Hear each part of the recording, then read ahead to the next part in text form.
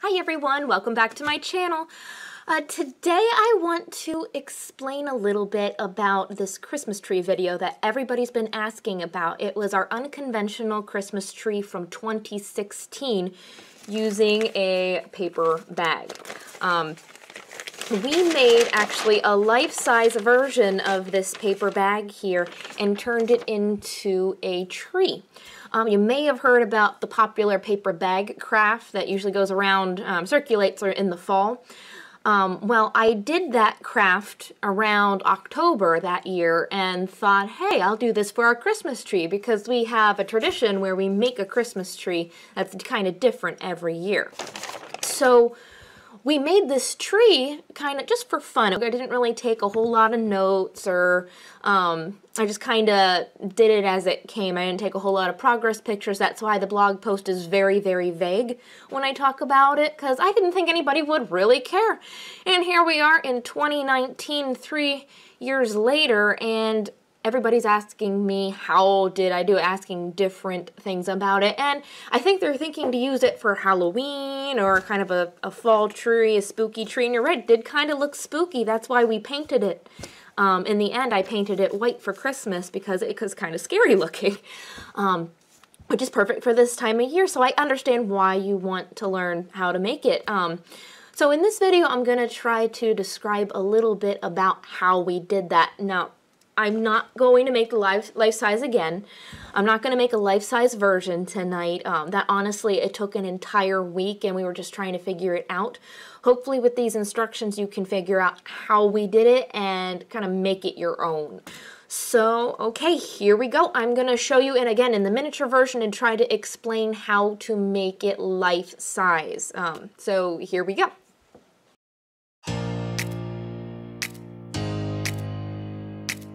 First of all, I used Kraft paper. Now I'm just going to use an actual paper bag. I cut it up to kind of explain how I did it. But for the paper bag, um, using the roll of Kraft paper, um, I got the 75 square foot roll and uh, it was about two feet wide. So imagine each of these slices of paper is two feet wide. I also, it even says in the video, so I remember this actually, is um, I made it 15 feet tall. So it was 15 foot tall. To make one front side of a bag, I used two two pieces of the roll. I rolled them out, laid them side by side here. Okay. And that would be 15 feet for both of them and 2 feet each on either side. That means it was four feet across the front.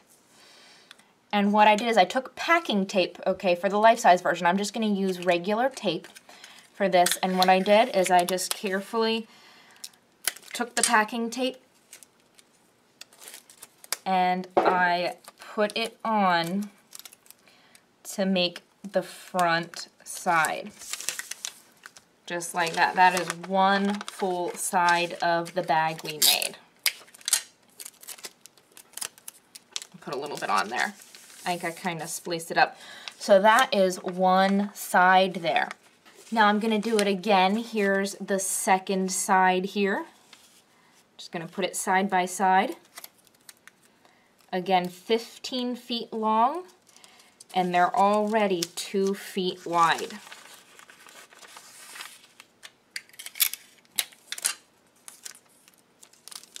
So there's another side right there. I have the front and the back of the bag right there. Now for the sides, it's super easy. You just roll out two 15 feet um, slices. You don't need to tape them together because those are just the sides. So I have those there. For the bottom, what I did is it has to be four feet wide by two feet long. So I took the Kraft paper and I rolled two separate sheets that were two feet long. So when I put them together, they were four feet wide by two feet long. Just like that. And then, okay, now this was difficult because again of the massive size. If you see some of the pictures, our whole living room was covered in Kraft paper. Literally, I almost didn't have enough room to do it. So I took the sides, all right, I kind of laid them side by side like this, and I taped them, I think I taped them front and back. Okay, and then I took the front and the back and I taped them to their matching sides as well. Just like that. And see, here's the other side. I'm going to tape that right there. So you almost, you kind of have a cross between the two. Now my husband had to help me with this, but what I did then is you fold up the sides. See, now you have the corner right there.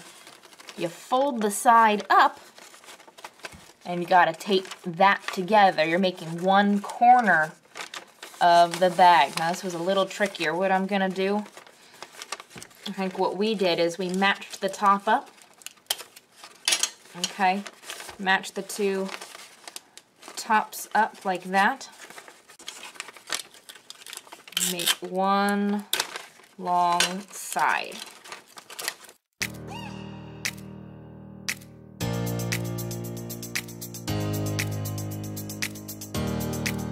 I'm going to do another side here.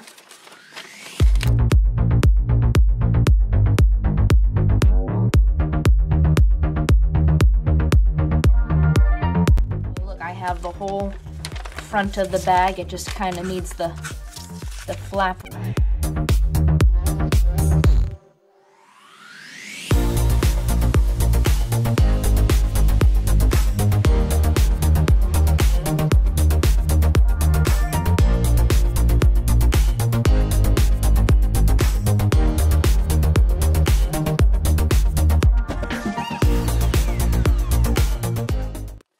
There is an entire paper bag that I constructed. It's the same way it was before, but imagine that 15 feet long, okay, by 4 feet wide. Now what I'm going to do next, all right, is to hold it down. Now we were thinking it was going to be pretty heavy. All right, we built a base, and a lot of you have been asking about the base to fit underneath inside here. Now, if we were to have built it just the bag itself, the sheer weight of how much paper was there, it would have just like kind of fall, it would have fallen over. So what I did for that is I used 2 by 4s Okay, my husband did actually. He is, again, an engineer, so he's very good at kind of putting together things safely. I'm the idea girl. I have all the great ideas, and as an artist, I can kind of figure out how to decorate it, but um, logistically, he is the one that helps figure out um, how it works. So, 2 by 4s It has to fit in the base, all right, to keep the square base, like in the craft. So, 4 foot long 2 by 4s and two foot long two by fours right here create a base, kind of like a frame. Now, we used nails. He actually used nails and screws to screw in to hold them together. I'm just going to hot glue it.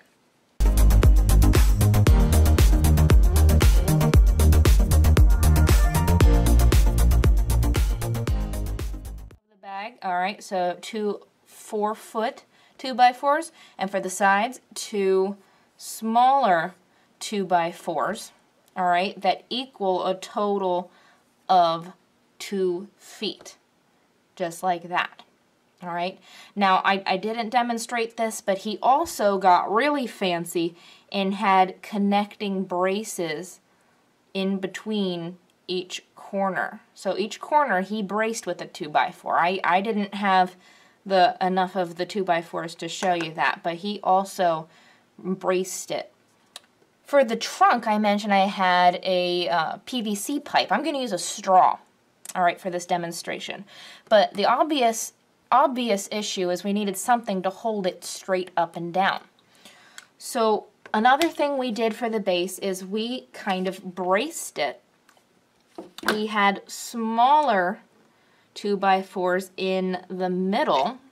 Right, we had a chunk right there. Again, I don't remember the exact measurements. We built it kind of with the PVC pipe in the middle to see where it would go. So we had two smaller ones going from the middle and two larger ones. I remember it got pretty tall.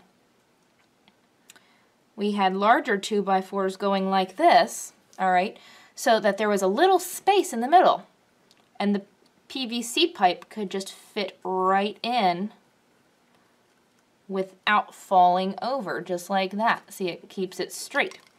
So here, I'm going to glue that on really quick and show you how that works. There's one, and there's another. Again, I do not remember the exact measurements. That's something you'd have to figure out for yourself. But just to give you a visual, because I cut this part out of the video, there we go. So I have the matching measurements of the bottom of the bag made out of 2 by 4s and I have two cross and two smaller ones going meeting in the middle and there's a tiny little space in there to hold the PVC pipe up. The PVC pipe goes straight through the hole. Again, I would build it like we did so it fits right in there and that holds it straight up and down, just like this. This is the skeleton of the life-size tree we made. Just imagine it life-size.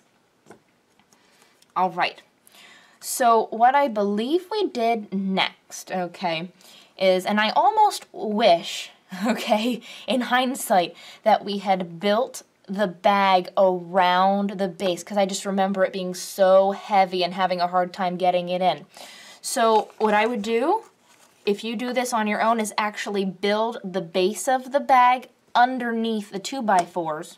Is remember before the bag was taped together, how it was in that cross, I would build this base over top, okay, of the bottom before you tape it together have, have the base built and then tape the sides together so it's already in the bag before you do everything else. All right, is I'm just gonna, I'm gonna stick the base into the bottom of the bag, okay, so it fits. It's actually a perfect fit if you can see it. It's right there. That's what the bottom looked like, okay, and then what we did is we took the PVC pipe, okay, again, and stuck it right inside see if I can see it.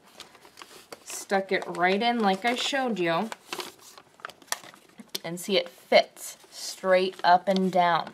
So the next thing, once you get the kind of the skeleton in there, is cutting the branches. Now, what I did then, okay, is with everything in there, I kind of folded it. See how they fold in like a regular paper bag collapses? I folded them in, all right, and I decided how big my branches were going to be. I decided I wanted them to go down to the base of the PVC pipe, okay, which it actually starts right there. That's where the PVC pipe would have ended. Now you can make it as long as you want, but the height of the tree, or height of the trunk is up to you. That's how tall the PVC pipe is. Mine's right there. So I'm going to cut actually a bunch of strips. Okay, those are going to be the branches.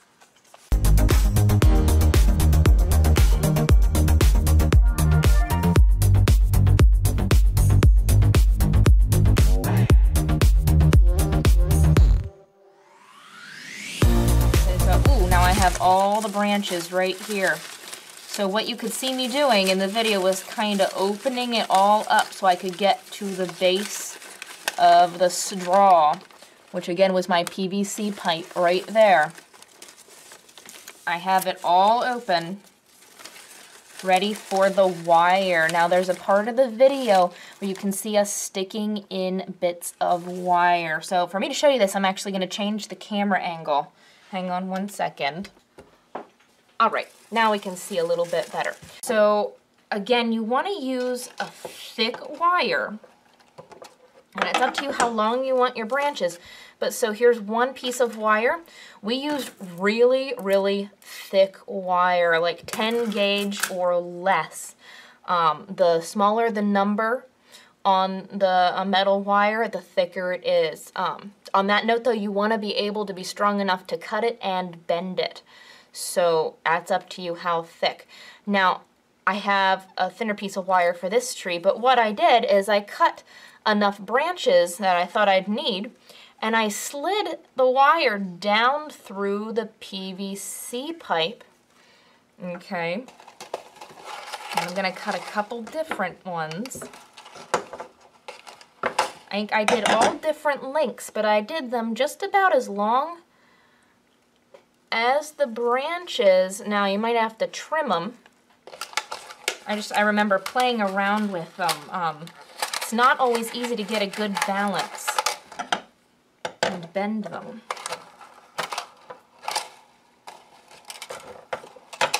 Okay. I'm not even really measuring, I'm just cutting a bunch of different ones and sliding them through.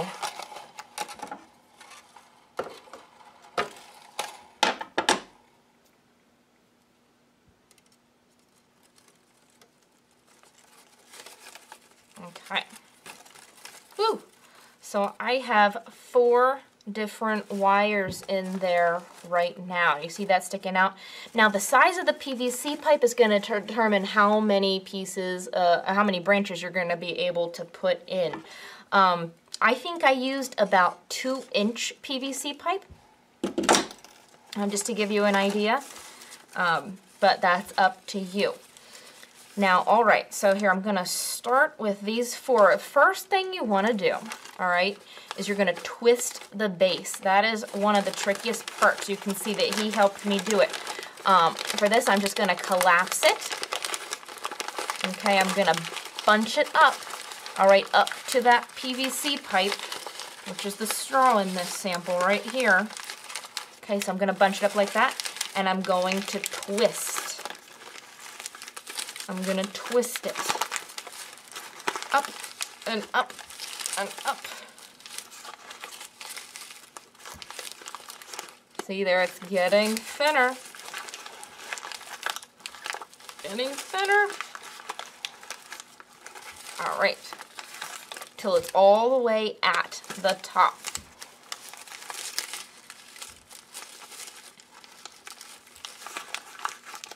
Hmm can feel that base in there. All right, so once you get up to the top, you're just gonna grab two of the pieces and start wrapping them around each other. Around and around. I think I just started grabbing them and wrapping them. Just like that. There's one branch right there.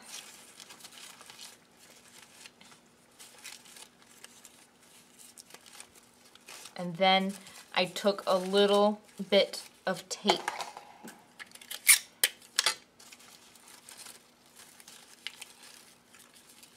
And went off to the edge.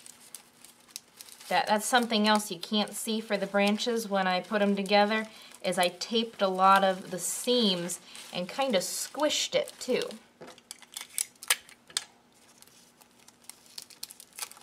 Until it went out to an end.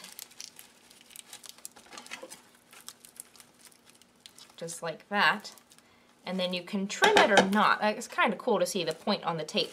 It's not perfect. All right. And then I'm going to keep twisting.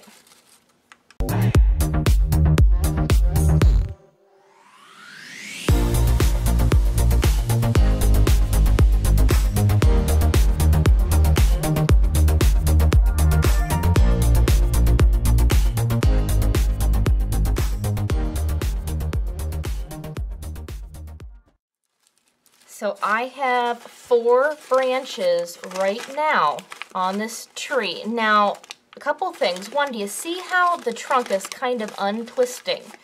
What we did, all right, is I used twine. You can kind of see this in the video too. We really, we tightened the, the trunk as much as we could. All right, and I actually used some actual twine here. He helped me hold it down and in sections, we tied together knots to help hold it in place. I think we did it in about one foot sections. And then we trimmed it. So there's one that's really tight right there. And then I'm going to twist it a little bit more. Holding it together. That's why in the video you can kind of see sectioned off pieces going up the trunk. To keep it held together, that's what we did, is we tied it off just to hold it in place because the sheer weight was too much just like that. See, there's two. This one's so short, I'll do one more. Right at the very top. So there's only three sections on there that I tied, but it won't come undone anymore then.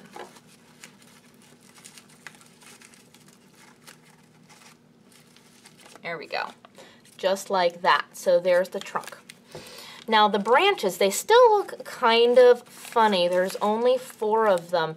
And that's one thing I ran into is um, I decided I didn't have enough branches on mine and you couldn't see it, but I added some. So I, I intentionally left one out of here. I want to show you how to add a branch. All I did, what you're going to have is you're going to have a hole here.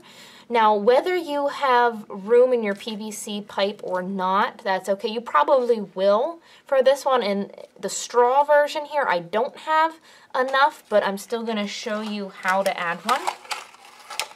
Is I'm going to take another piece of wire, okay, and let's say I want another branch. You're going to have a hole up here in the middle. All you have to do is stick another piece of wire through the inside. You're still going to have a little bit of tunnel, all right, going on with your trunk. All right, but see now I have an extra wire here.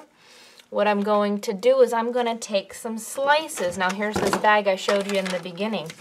I took some smaller slices of the paper, all right, so let's say I'll have two here.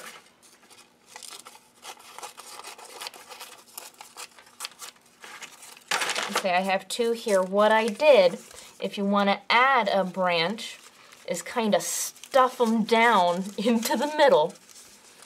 All right? And then wrap those around the branch themselves. So kind of anchor it in. You can tape it if you want. All right, but how you add a branch is you just stuff it down in the middle there and wrap it around, taping it as needed. I'm going to tape it off here. Um, another thing, too, to think about is the tips here.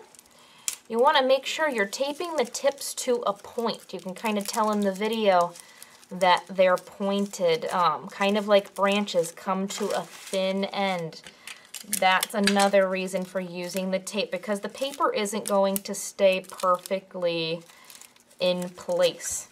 It'll kind of untwist over time, so the tape kind of helps section it. Um, around for the middle too, you could probably tape it if you don't have twine, but I thought it kind of gave it a nice texture effect going on there.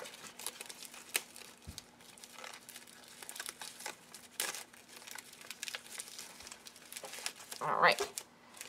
So I have five branches on my miniature tree now. It's starting to look like the one in the video. If you have extra wire, by the way, you can trim the ends off or you could leave them for extra length and add more paper to them. I'm just going to trim them for this one. So see, I have my branches here. All right. What you can do with the wire is you can bend them okay? Because when you take them out of the roll, it's going to be pretty straight. You can bend them however you want, all right, to come out, to look like a branch. I kind of bent mine up and down and all around to make them go different directions, all right, kind of like that. All right, you can bend them however you want. However, if you hang anything off of them, you can't see this in the video, but um, when I started hanging the ornaments on, the strength of the wire wasn't enough and they started to droop really, really far. That wasn't good. That's another reason I suggest using thicker wire if you do use it as a Christmas tree. If you're just using it as a Halloween tree or a fall tree, as long as your decorations aren't that thick, it wouldn't be that bad. Okay, and here is the miniature version of the life-size tree that we made. And I'm going to tell you something, I still think it's pretty ugly. That's why I painted it white in the original video. But um, perfect for fall. I can see it, or for a play set. So let me know in the comments if you have any other questions, or send me a message. I'll try to answer them. Um, and yeah, love to see pictures of what you come up with. Have fun. Happy creating.